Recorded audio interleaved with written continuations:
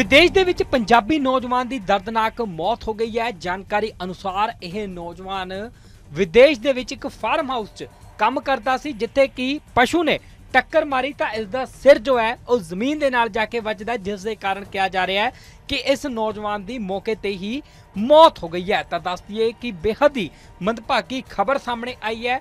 7 ਸਾਲ ਪਹਿਲਾਂ ਇਹ ਨੌਜਵਾਨ ਮਾਨਸਾ ਤੋਂ ਸਾਈਪ੍ਰਸ ਦੇ ਵਿੱਚ ਚੰਗੇ ਭਵਿੱਖ ਦੇ ਲਈ ਗਿਆ ਸੀ, ਉੱਥੇ ਆਪਣੀ ਰੋਜ਼ੀ ਰੋਟੀ ਕਮਾ ਰਿਹਾ ਸੀ, ਪਰ ਅਚਾਨਕ ਹੀ ਕਿਹਾ ਜਾ ਰਿਹਾ ਹੈ ਕਿ ਜਿਸ ਫਾਰਮ ਹਾਊਸ ਦੇ ਵਿੱਚ ਇਹ ਕੰਮ ਕਰਦਾ ਸੀ, ਉੱਥੇ ਕੰਮ ਕਰਦੇ ਸਮੇਂ ਇੱਕ ਪਸ਼ੂ ਨੇ ਪਿੱਛੋਂ ਟੱਕਰ ਮਾਰ ਦਿੱਤੀ, ਜਿਸ ਦੇ ਕਾਰਨ ਇਹ ਨੌਜਵਾਨ ਆਪਣਾ ਸੰਤੁਲਨ ਖੋ ਬੈਂਦਾ ਹੈ ਤੇ ਇਸ ਦਾ ਸਿਰ ਜਾ ਕੇ ਸਿੱਧਾ ਹੀ ਜ਼ਮੀਨ ਦੇ ਨਾਲ ਵੱਜਦਾ ਹੈ, ਜਿਸ ਦੇ ਕਾਰਨ ਕਿਹਾ ਜਾ ਰਿਹਾ ਹੈ ਕਿ ਇਸ ਨੌਜਵਾਨ ਦੀ ਮੌਤ ਹੋ ਗਈ।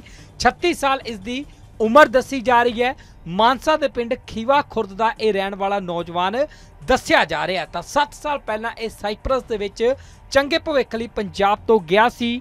ਉੱਥੇ ਜਾ ਕੇ ਫਾਰਮ ਹਾਊਸ ਦੇ ਵਿੱਚ ਕੰਮ ਕਰਦਾ ਸੀ। ਪਰ ਕਿਹਾ ਜਾ ਰਿਹਾ ਹੈ ਕਿ ਜਦੋਂ ਇਹ ਫਾਰਮ ਹਾਊਸ 'ਚ ਕੰਮ ਕਰ ਰਿਹਾ ਸੀ ਤਾਂ ਅਚਾਨਕ ਹੀ ਪਿੱਛੋਂ ਇੱਕ ਪਸ਼ੂ ਨੇ ਟੱਕਰ ਮਾਰ ਦਿੱਤੀ, ਜਿਸ ਦੇ ਕਾਰਨ ਇਸ ਦੀ ਮੌਤ ਹੋ ਗਈ। ਦੂਜੇ ਪਾਸੇ ਹੁਣ ਇਹ ਖਬਰ ਪਿੰਡ ਪਹੁੰਚਦੇ ਹੀ ਪਰਿਵਾਰਕ ਮੈਂਬਰਾਂ ਦਾ ਰੋ ਰੋ ਕੇ ਬੁਰਾ ਹਾਲ ਹੈ ਤੇ ਸਰਕਾਰ ਦੇ ਕੋਲ ਇਹੀ ਗੁਹਾਰ ਲਗਾਈ ਜਾ ਰਹੀ ਹੈ ਕਿ ਉਹਨਾਂ ਦੇ ਪੁੱਤ ਦੀ ਜੋ ਮ੍ਰਿਤਕ ਦੇ ਹੈ, ਉਹ ਪਿੰਡ ਲਿਆਂਦੀ ਜਾਵੇ ਤਾਂ ਜੋ ਉਸ ਦਾ ਸੰਸਕਾਰ ਕੀਤਾ ਜਾ ਸਕੇ। ਤਾਂ ਮਾਨਸਾ ਦੇ ਪਿੰਡ ਖੀਵਾ ਖੁਰਦ ਤੋਂ ਇਹ ਮਾਮਲਾ ਸਾਹਮਣੇ ਆਇਆ, ਜਿੱਥੇ ਕਿ ਚੰਗੇ ਭਵਿੱਖ ਦੇ ਲਈ ਨੌਜਵਾਨ ਸਾਈਪਰਸ ਦੇ ਵਿੱਚ ਗਿਆ ਸੀ। ਉੱਥੇ ਚੰਗਾ ਭਲਾ ਕੰਮ ਕਰ ਰਿਹਾ ਸੀ, ਪਰ ਅਚਾਨਕ ਹੀ ਜਿਸ ਫਾਰਮ ਹਾਊਸ 'ਚ ਕੰਮ ਕਰਦਾ ਸੀ, ਉੱਥੇ ਜੋ ਹੈ, ਪਸ਼ੂ ਨੇ ਟੱਕਰ ਮਾਰ ਦਿੱਤੀ, ਜਿਸ ਦੇ ਕਾਰਨ ਇਸ ਦੀ ਮੌਤ ਹੋ ਗਈ।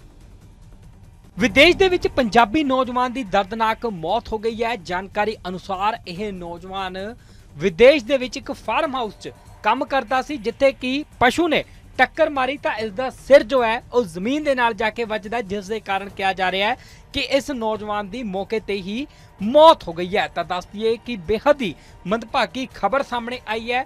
7 ਸਾਲ ਪਹਿਲਾਂ ਇਹ ਨੌਜਵਾਨ ਮਾਨਸਾ ਤੋਂ ਸਾਈਪ੍ਰਸ ਦੇ ਵਿੱਚ ਚੰਗੇ ਭਵਿੱਖ ਦੇ ਲਈ ਗਿਆ ਸੀ, ਉੱਥੇ ਆਪਣੀ ਰੋਜ਼ੀ ਰੋਟੀ ਕਮਾ ਰਿਹਾ ਸੀ, ਪਰ ਅਚਾਨਕ ਹੀ ਕਿਹਾ ਜਾ ਰਿਹਾ ਹੈ ਕਿ ਜਿਸ ਫਾਰਮ ਹਾਊਸ ਦੇ ਵਿੱਚ ਇਹ ਕੰਮ ਕਰਦਾ ਸੀ, ਉੱਥੇ ਕੰਮ ਕਰਦੇ ਸਮੇਂ ਇੱਕ ਪਸ਼ੂ ਨੇ ਪਿੱਛੋਂ ਟੱਕਰ ਮਾਰ ਦਿੱਤੀ, ਜਿਸ ਦੇ ਕਾਰਨ ਇਹ ਨੌਜਵਾਨ ਆਪਣਾ ਸੰਤੁਲਨ ਖੋ ਬੈਂਦਾ ਹੈ ਤੇ ਇਸ ਦਾ ਸਿਰ ਜਾ ਕੇ ਸਿੱਧਾ ਹੀ ਜ਼ਮੀਨ ਦੇ ਨਾਲ ਵੱਜਦਾ ਹੈ, ਜਿਸ ਦੇ ਕਾਰਨ ਕਿਹਾ ਜਾ ਰਿਹਾ ਹੈ ਕਿ ਇਸ ਨੌਜਵਾਨ ਦੀ ਮੌਤ ਹੋ ਗਈ।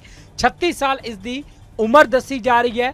ਮਾਨਸਾ ਦੇ ਪਿੰਡ ਖੀਵਾ ਖੁਰਦ ਦਾ ਇਹ ਰਹਿਣ ਵਾਲਾ ਨੌਜਵਾਨ ਦੱਸਿਆ ਜਾ ਰਿਹਾ ਤਾਂ 7 ਸਾਲ ਪਹਿਲਾਂ ਇਹ ਸਾਈਪ੍ਰਸ ਦੇ ਵਿੱਚ ਚੰਗੇ ਭਵਿੱਖ ਲਈ ਪੰਜਾਬ ਤੋਂ ਗਿਆ ਸੀ। ਉੱਥੇ ਜਾ ਕੇ ਫਾਰਮ ਹਾਊਸ ਦੇ ਵਿੱਚ ਕੰਮ ਕਰਦਾ ਸੀ। ਪਰ ਕਿਹਾ ਜਾ ਰਿਹਾ ਹੈ ਕਿ ਜਦੋਂ ਇਹ ਫਾਰਮ ਹਾਊਸ 'ਚ ਕੰਮ ਕਰ ਰਿਹਾ ਸੀ ਤਾਂ ਅਚਾਨਕ ਹੀ ਪਿੱਛੋਂ ਇੱਕ ਪਸ਼ੂ ਨੇ ਟੱਕਰ ਮਾਰ ਦਿੱਤੀ, ਜਿਸ ਦੇ ਕਾਰਨ ਇਸ ਦੀ ਮੌਤ ਹੋ ਗਈ। ਦੂਜੇ ਪਾਸੇ ਹੁਣ ਇਹ ਖਬਰ ਪਿੰਡ ਪਹੁੰਚਦੇ ਹੀ ਪਰਿਵਾਰਕ ਮੈਂਬਰਾਂ ਦਾ ਰੋ ਰੋ ਕੇ ਬੁਰਾ ਹਾਲ ਹੈ ਤੇ ਸਰਕਾਰ ਦੇ ਕੋਲ ਇਹੀ ਗੁਹਾਰ ਲਗਾਈ ਜਾ ਰਹੀ ਹੈ ਕਿ ਉਹਨਾਂ ਦੇ ਪੁੱਤ ਦੀ ਜੋ ਮ੍ਰਿਤਕ ਦੇ ਹੈ, ਉਹ ਪਿੰਡ ਲਿਆਂਦੀ ਜਾਵੇ ਤਾਂ ਜੋ ਉਸ ਦਾ ਸੰਸਕਾਰ ਕੀਤਾ ਜਾ ਸਕੇ। ਤਾਂ ਮਾਨਸਾ ਦੇ ਪਿੰਡ ਖੀਵਾ ਖੁਰਦ ਤੋਂ ਇਹ ਮਾਮਲਾ ਸਾਹਮਣੇ ਆਇਆ, ਜਿੱਥੇ ਕਿ ਚੰਗੇ ਭਵਿੱਖ ਦੇ ਲਈ ਨੌਜਵਾਨ ਸਾਈਪਰਸ ਦੇ ਵਿੱਚ ਗਿਆ ਸੀ। ਉੱਥੇ ਚੰਗਾ ਭਲਾ ਕੰਮ ਕਰ ਰਿਹਾ ਸੀ, ਪਰ ਅਚਾਨਕ ਹੀ ਜਿਸ ਫਾਰਮ ਹਾਊਸ 'ਚ ਕੰਮ ਕਰਦਾ ਸੀ, ਉੱਥੇ ਜੋ ਹੈ, ਪਸ਼ੂ ਨੇ ਟੱਕਰ ਮਾਰ ਦਿੱਤੀ, ਜਿਸ ਦੇ ਕਾਰਨ ਇਸ ਦੀ ਮੌਤ ਹੋ ਗਈ